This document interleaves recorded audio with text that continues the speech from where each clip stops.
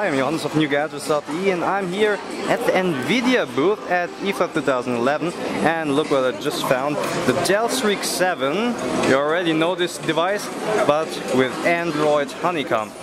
So now it's slightly faster and you can enjoy all the cool animations and new features of Android Honeycomb. So for example, we have the browser over here. Of course, it's a tabbed browser and I really like 7-inch devices. So you can enjoy that too. And what is what's that? Why are they opening such a site? Let's open one good site like uh, like newgadgets.de dot de there. Okay. I'm really bad in typing.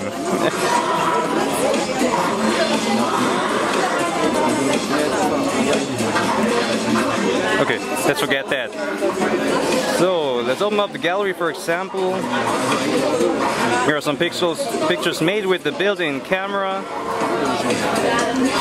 Is there multi-touch? Of course there's multi-touch. And yeah, what else is to say? I think you know the Dell Streak already. Right here at the top we have the volume button, the power button. At the back there's the back camera with the LED light.